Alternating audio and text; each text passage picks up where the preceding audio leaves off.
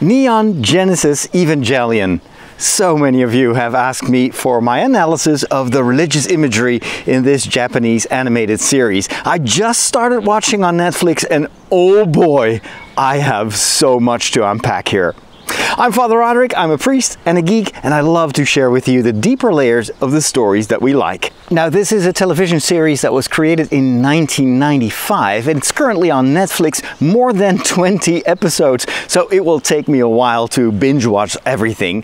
This is probably going to be a series here, so make sure to follow for more. Now, I've only just started to watch the first episode of the series, so I can't really spoil that much, but in case you're planning on watching this series yourself, make sure to save this video for later. Let's start with the meaning of this weird title, Neon Genesis Evangeli Evangelion. I really had to practice that one. Um, neon, new, or new era. Uh, Genesis, of course, creation.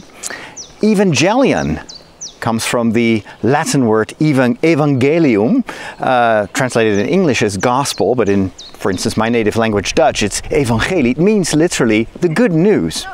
So the title means something like the good news of a new creation. That sounds pretty optimistic.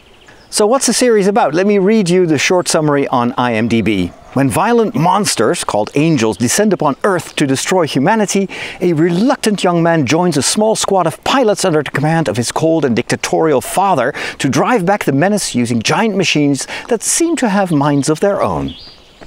Now, the series takes its inspiration from a lot of Christian sources, uses iconography from Christianity, Islam, Gnosticism, and In the series' examination of religious ideas and themes. So that makes it super interesting for me, of course. The question, of course, is does that have any impact on the story that they are trying to tell? Or is this just, I don't know, fluff imagery just to be cool? Is there a deeper meaning to all this Christian imagery in the series or not? This is actually quite a debate I gathered from the fans of the series, and uh, there are rows and rows of books and articles that have been written about this theme. Assistant director Kazuya Tsurumaki said that they originally used Christian symbolism and themes only to give the project a unique edge against other giant robot shows, and he stressed that there is no particular Christian meaning, and the series was not meant to be controversial However, already from the first episode, I can tell that the creators actually did do quite a bit of research.